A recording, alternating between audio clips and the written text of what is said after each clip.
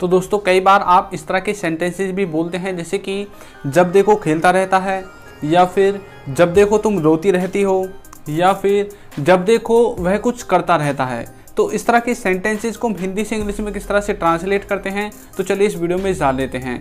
तो सबसे पहले हम बात करने वाले हैं इसके स्ट्रक्चर के बारे में। तो देखिए, इसके स्ट्रक्चर में आपको सबसे पहले लिखना है वेन एवर आई सी उसके बाद आपको उस सब्जेक्ट का नाम लिखना है, जिसके बारे में आप बात कर रहे हैं।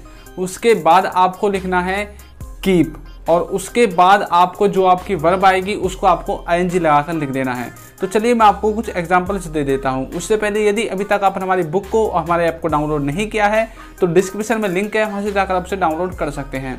तो देखिए इसमें पहला एग्ज़ाम्पल क्या है? जब देखो, वह खेलता रहता है तो इसकी इंग्लिश बनेगी whenever I see he keeps on playing तो इस तरह से आप इसे बना सकते हैं। नेक्स्ट एग्ज़ाम्पल देखिए क्या होगा? जब देखो वह रोती रहती है तो इसकी इंग्लिश बनेगी whenever I see she keeps on weeping तो इस तरह से भी आप इसे ट्रांसलेट कर सकते हैं।